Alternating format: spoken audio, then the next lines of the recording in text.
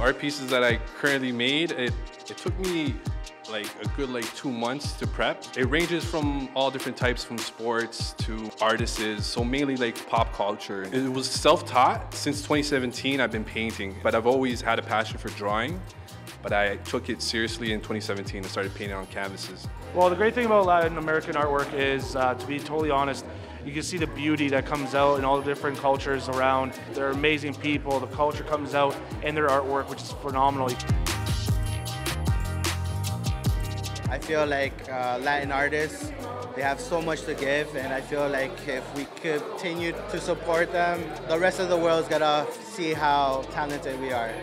The gallery and the artwork today is so beautiful. As you can see, the art is amazing. Very talented artist, and there's good music, good food, good drinks, and the vibe is just nice. A lot of good people all together. Working in a multicultural environment, it, influences me because there's different cultures that I can inspire from and take things from.